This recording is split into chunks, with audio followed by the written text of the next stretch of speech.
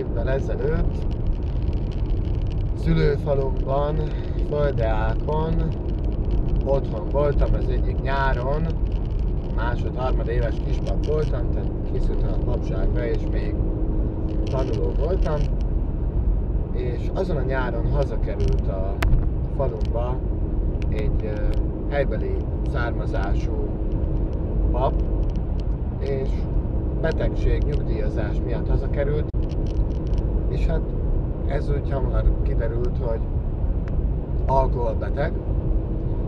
És sokat imádkoztunk érte, és nem tudta ezt a betegséget már azon a ponton magállítani az a környezete és ő maga, hogy belehalt ebbe a betegségbe. Ugye vannak erről viccak, vannak erről gúnyos megjegyzések, de aki benne van ebben, vagy akinek a családjában van érintett személy, az tudja, hogy ez, hát, hogy ez nem vicc, ez igazából nem játék, hanem egy súlyos betegség. Én úgy tekintek erre a betegségre, mint bármilyen másik betegségre. Lucien Eim Duval, francia, jezsuita pap, vallomása, hát neki már tényleg konkrét saját tapasztalatából az alkoholizmusról. Az a címe a könyvének, hogy miért oly hosszú az éj. Van egy pont, amikor egy fiatal orvossal beszélget az életének a problémáiról, és nem tudta tulajdonképpen a Lucien atya, hogy mi van vele, amikor is ez a fiatal orvos egyszerűen annyit mondott neki, hogy nézze uram, ön alkoholbeteg. És akkor esett le neki az, amit tulajdonképpen senki nem mondott meg neki ilyen egyszerűen, őszintén, világosan és reálisan szeretettel. És akkor igazából egy nagy kő esett le a szívéről, és azt mondta, hogy de jó, végre tudom, hogy mi a bajom elvonultam magyar székre, a Kármait a Kolostorba, kezemben ezzel a könyvvel két-három napra, és ezt olvastam, és erről elmélkedtem, és azt adta akkor az úr a szívembe tíz évvel ezelőtt, hiszem, hogy ő mondta, hogy soha négyak egyedül alkoholt.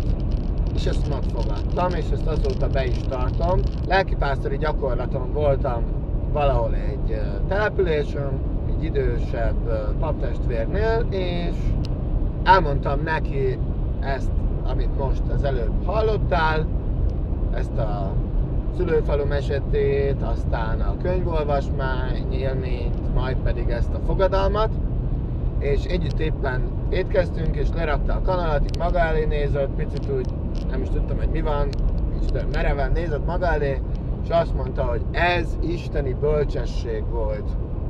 Tehát ez isteni bölcsesség, hogy soha négy áll egyedül alkoholt. Jó lenne, hogyha komolyan vennénk azt az 1 millió alkoholbeteg testvérünket Magyarországon, és nem kínálnánk meg őket. Persze nekik is tudniuk kell, hogy ne is fogadják el, de mivel ez egy súlyos betegség, ezért, hogyha mi egy alkoholbeteget megkínálunk alkohollal, az körülbelül olyasmi, mint hogyha a szakadék szélén lévő embert lelöknénk a szakadékba. Lehet, hogy valaki azt gondolja, hogy hát itt nekem az alkohol, én erős vagyok, nincs ezzel gond, de van vele gond. És ezt az 1 millió alkoholbeteg testvérünk tanúsítja. Ajánlom szeretettel nekik különösen is ezt a videót, azért, hogy az a sok magvető tekintet, amivel találkoznak, és azok a lelki sebek, amik őket érik, és amiket maguknak is és másoknak is okoznak nyilván egy idő után, azoknak az enyhítésére, vigasztalására és gyógyítására, és aki pedig, aki pedig uh, még uh, nem érintett személyesen ebben a betegségben, annak kívánom, hogy ne is legyen érintett ebben soha, és ennek legyen ez az előzetes, magelőző alapelve, hogy soha négy áll egyedül alkoholt.